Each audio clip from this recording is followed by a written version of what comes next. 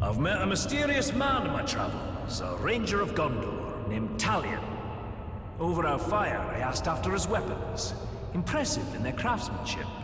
A handsome blade, Urfael, has been at his side since his days stationed at the Black Gate, defending the borders of Gondor. But his dagger, Acharn, carries a sad tale. It too was once a mighty sword, carried by his murdered son, broken the night he died. Talion tells me Acharn means vengeance, and I have a feeling the blade will fulfill the meaning of its name.